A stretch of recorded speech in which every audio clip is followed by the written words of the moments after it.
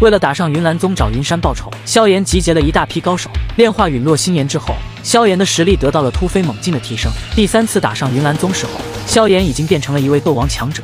虽说斗王之下皆为蝼蚁，但在斗宗强者眼里，就算斗皇强者也如同蝼蚁一般弱小，区区斗王根本不会放在眼里。熟悉剧情的小伙伴都知道，这一战之后，云山就会下线领盒饭，因为他会被萧炎活活打死。那么问题来了，萧炎打死云山的时候，他的实力到底有多强？之前我们简单解读了一下萧炎打死云山的整个过程。为了干掉云山，萧炎会使出毕生绝学，一口气释放了六个大招。云山被三色火莲炸成重伤之后，萧炎赤手空拳冲了上去，硬是活生生打死了云山。首先我们要知道，斗王肯定不是云山的对手，因为时间又过了三年。云山的实力也提升了不少。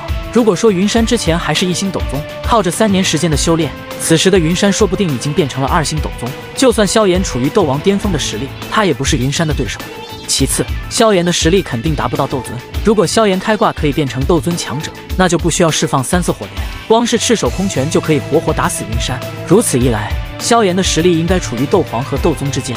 从以往的战斗经历来看，萧炎想要获得斗宗战力，还需要药老帮忙才行。不过第三次打上云岚宗的时候，出现了一点小意外，魂殿的雾护法也在这里。为了牵制雾护法，药老使用灵魂体大战雾护法，根本没办法顾及萧炎，因此萧炎只有靠自己的实力对付云山。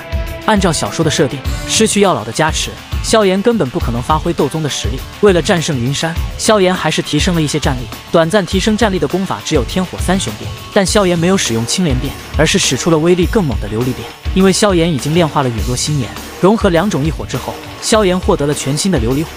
琉璃变可以在短时间之内迅速提升实力。由于萧炎之前已经处于斗王巅峰的水平，经过琉璃变提升之后，萧炎的表面实力竟然达到了五星斗皇。只可惜，即便五星斗皇也不敢在斗宗面前叫嚣。和一般的斗者不同，通过修炼焚诀和灵药洗髓，萧炎的肉体已经达到了斗皇巅峰的水准。